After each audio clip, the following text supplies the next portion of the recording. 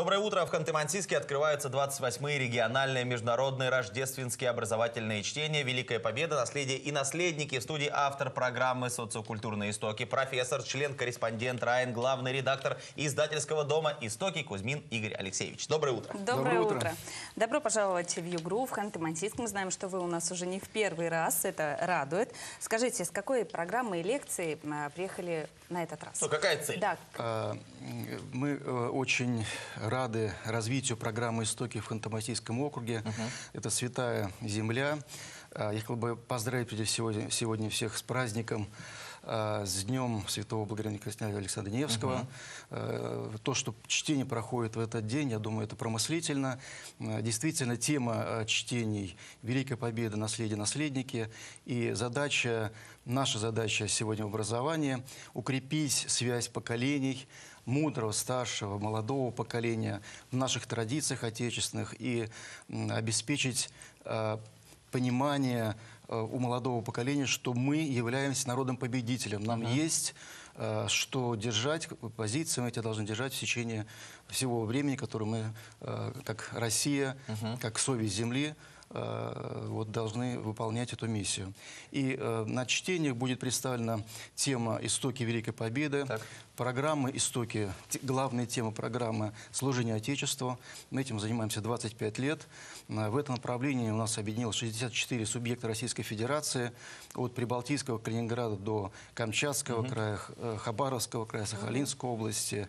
И если брать по э, э, вертикали, от Тюменской области до южных регионов России, Волгоградской То и Ростовских областей. территории буквально. А, 64 региона.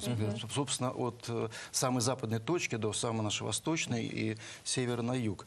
Э, Мы э, понимаем, что действительно в развитии нашего Отечества важно сохранить дух победителя, народа победителя.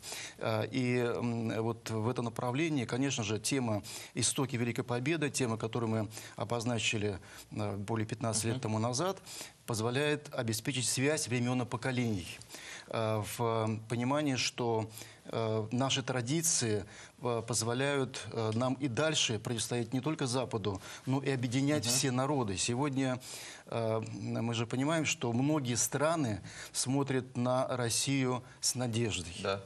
И э, Россия великая держава. И, э, конечно же, величие России в преемственности отечественных традиций, в преемственности главных ценностных ориентиров, э, которые могут обеспечить связь э, времен и поколений. Э, и Россия сегодня эту миссию выполняет. Но внутри нам надо укрепляться, надо духовно возрастать. И это задача общая для всего нашего э, Отечества. Ну вот э, это будет главная тема Так. на, на чтениях, которые мы будем п- здесь э, рассматривать. Ну и, конечно же, э, очень рады то, что весь Ханты-Мансийский округ э, включился в реализацию программы «Социокультурные истоки». Это большое системное направление. Да, вот об этой программе. А, да. А, Прежде всего, это привносит в образование новый предмет, который называется «Истоки». Программа воспитания на социокультурном опыте обес- обеспечивает связь семьи да, и приобщение к этому направлению родителей. Программа начинается с дошкольного образования, с 3-8 лет. Дошкольник, дошкольник включается в эту э, э, э, про- программу. И школа с 1 по 11 класс. А В целом, э, хотел бы отметить, что э, Ханты-Мансийский округ э, очень э, э, устойчиво развивается в этом направлении и становится и стал уже лидером э, в реализации проекта «К истине». Проект, который направлен на духовно-нравственное укрепление педагогов. Мы понимаем, что действительно много зависит э, много в зависит от педагогов, конечно. Все зависит от педагога. И от того, насколько он готов к, это- к этой миссии, к этому, э, к этому направлению. Мы считаем, что э, педагоги и стыковеды, так называем своих любимых педагогов, э, низкий поклон всем нашим педагогам в Ханты-Мансийском округе и во всей России, это чудо-богатыри российского образования. Действительно, то, Согласна. что в свое время, э, мы с вами помним, что э, чем э, велик наш полководец Александр Васильевич Суворов, тем, что он прежде всего сумел укрепить духовно и нравственно воинов и э, и благодаря этому одерживал победу за победой своими чудо-богатырями. Сегодня это является главным и в, образовании, духовно-нравственно укрепить педагогов. И то, что в этой э, работе Хантаматийский округ стал лидером, э, это, конечно, труд очень э, большой, прежде всего, Ханты-Мансийской митрополии.